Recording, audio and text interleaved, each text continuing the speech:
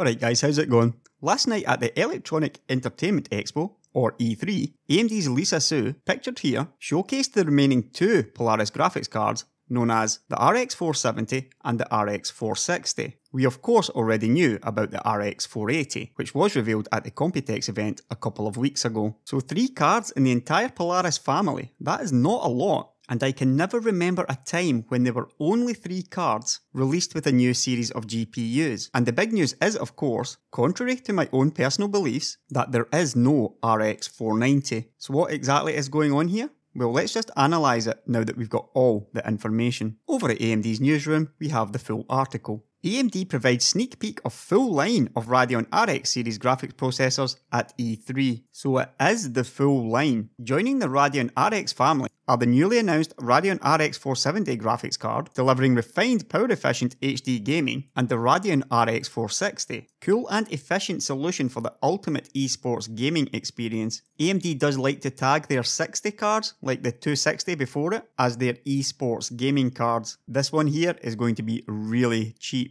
We'll come back to this later on, and getting back to Lisa, right on the left we've got the RX 470 and on the right the RX 460 with a tiny fan and heatsink. The RX 470 is quite interesting though. Right here we can see the GPU in the middle, but more importantly we can see 1, 2, 3, 4, 5, 6, 7, 8 memory chips. These are GDDR5. And together this simply means that the RX 470 is based on Polaris 10. So the RX 480 will be the full Polaris 10 chip and the RX 470 is a cut down version of it. Now we already know that the RX 480 will come in memory sizes of 4 and 8 gigabytes of GDDR5 and the RX 470 should be the same. So assuming the RX 480 is the full GPU, we've got a rather odd number of CUs here at 36. But this is something I'll talk about at a later date. We can reasonably expect the RX 470 to have a lower number than this. It's not always been the case. For example, the Fury X and the Fury Nano have the same number of CUs, the same number of shaders, but in this case, it's pretty likely that we're looking at a normal case where, for example, if we just compare this to Pitcairn, AMD's mid-range GPU that launched over 4 years ago, then your 7870 would have been the equivalent of your RX 480 here, and it had 1280 shaders, whereas the 7850 the one below it, which would be the equivalent here of the RX 470, had 1024 shaders. So we should be looking at a similar situation here, where the RX 470 is a cut down version of the RX 480. The RX 470 could be one to watch, because we know the RX 480 starts at $199 for the 4GB version, so we can reasonably expect the RX 470 to come in at around $149 for the 4GB version.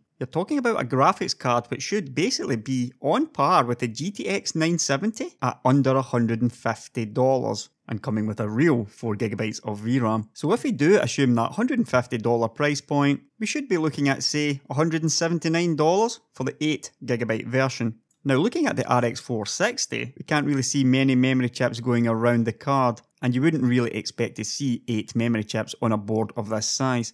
And judging by the size of the card, I think it's rather safe to say that we're looking at Polaris 11 here. That is the smaller of the two GPUs. And what is either a 4 or 2 gigabyte graphics card, maybe reaching, say, almost GTX 960 levels of performance, or probably just a little bit short of the GTX 960. It's got no power connector, so really what we're looking at here is AMD's answer, finally, to the GTX 750 Ti and the RX 460 should be way ahead of that performance level. My guess would be probably around about 60 watts TDP, because that goes with a previous leak that we saw on an Italian website about a month ago. So that is the full Polaris lineup. Some people are clearly going to be very disappointed because there is no RX 490. So why is that? Well, simply put, Graphics cards naming schemes are based on a bunch of stuff, not least of all including how fast they are compared to the previous generation of cards. For example, this RX 480 should really, on history, be comparable to the R9 390.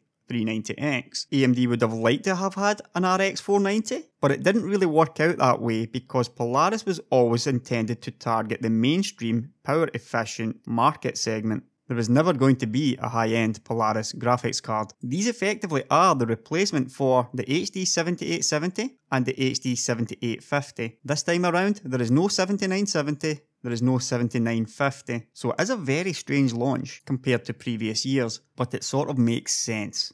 Nvidia's away doing their own thing, charging 700 plus dollars for the GTX 1080. The market for graphics cards at that price is tiny, and even though the GTX 1070 is a much more attractively priced card, we're still talking about a pretty low volume card in the grand scheme of things. Very, very few people pay over $400 for a graphics card. So with Polaris, AMD has squarely targeted this 84% of the market where the overwhelming majority of gamers are buying 100 to $300 graphics cards. Simply put, it suits AMD's strategy to do that. Nvidia doesn't have any competition here right now. They will of course have cards competing here before long though, based on their smaller GP106 GPU, so Polaris will have competition here within a couple of months. But right now, this is what makes sense to AMD, because if AMD had the large GPU to compete against the GTX 1080 and GTX 1070, they would still be expending a lot of wafers to do that. These cards may or may not have been good enough to compete, so instead of spending wafers on what is high-end graphics cards, they have doubled down on the mainstream, and this means that we should see proper launch with real volume numbers of the RX 480, RX 470,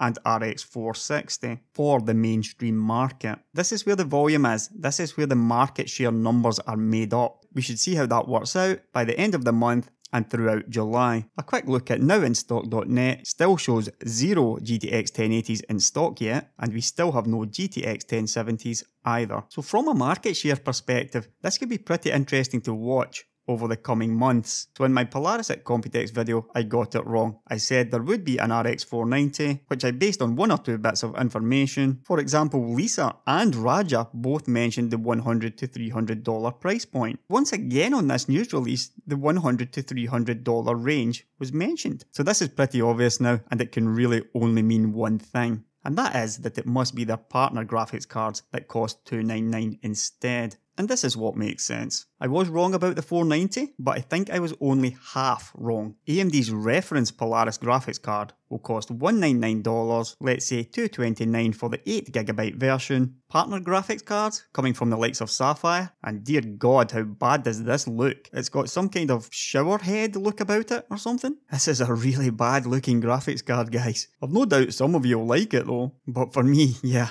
I think Sapphire's kinda lost the plot here. But apparently this here is the Sapphire Nitro RX 480 I'm guessing all of the partner cards will be 8GB versions, costing around about the $299 mark. And here's another shot of the Nitro. But yeah, these partner cards are what I thought would be the RX 490. They're not quite fast enough to be a real 490, and we already know that the RX 480 appears to have the full complement of shaders and compute units. So really what we're looking at here is AMD is doing something similar to what Nvidia did with the last generation, where cards like the GTX 980, GTX 970, GTX 980 Ti had much faster, overclocked versions with better coolers. And if you remember what I said in the Computex video about this 150 watts of power, we can expect to see aftermarket cards with more power connectors, more performance. We may be looking at a situation here where AMD actually has a good overclocking graphics card. If that is indeed the case, then a card like the RX 480 should be a GTX 980 beating graphics card. But that comes down to how much power it actually draws at stock and how well it's going to overclock. You can kind of figure out though, if the aftermarket cars are going to cost 30% more, that is $299 compared to $229, then you would certainly expect a decent performance uplift over the stock RX 480, really just to justify the extra cost. So these could be very nice cars indeed. Whether or not they'll be worth the $299 remains to be seen, but one thing is certain, we will soon be finding out. I'll catch you later guys. Catch you later.